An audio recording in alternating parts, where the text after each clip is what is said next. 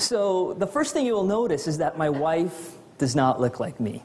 Right? She's not Indian. So already we have some problems right there, right? One of the advice my wife would give you is the goal of marriage in many ways is to minimize pain in life. And if you marry somebody outside your race, life is going to be more painful. Right? So that's a messy world that we have. And if you think that's tough, then we have these two on the right, the one on the left, right? What's their identity? They're messed up. You know, what are they? You know, where are they? Are they Indian, Chinese, American, what? And if you think that's crazy, then there's that little one on my lap, so this is my girl.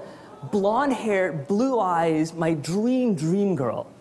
What's she gonna be like? Can you imagine us as parents, these crazy nut jobs as brothers and sisters? But this, my friends, is the mess of life that I adore. I wouldn't trade any of this Right? How do we handle all of this mess of reality?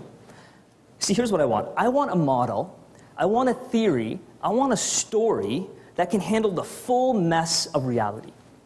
That's what I want. You see, I'm ambitious. I don't want a theory of only the measurable things, I want a theory of everything. To handle the big questions such as justice, beauty, relationships, significance, I want everything.